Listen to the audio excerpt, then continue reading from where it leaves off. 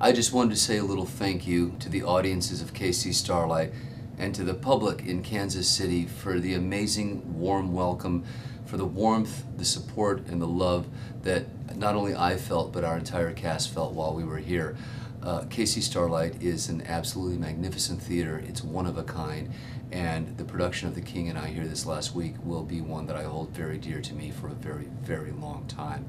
I also want to uh, express my love and admiration for this amazing cast that I had the opportunity to work with. Rachel Bay Jones is most certainly the most exquisite, warmest, most heartfelt Anna I have ever worked with, and I stand in awe of her talent. And this cast uh, rivals anything I ever had on Broadway. I think that what we brought to Kansas City this week was magical and wonderful, and I am honored to have been a part of it. I would also like to say that any of us who are gypsies that spend so much time on the road, we would not be able to do this if it were not for the love and support and, and patience of our families. And having said that, the person that I thank more than anything else is my wife Yvonne, because she's always been there for me.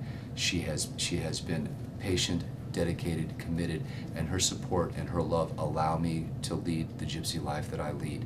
And I thank you, and I love you, and I thank you for your strength in holding down the fort, Yvonne. Thank you so much.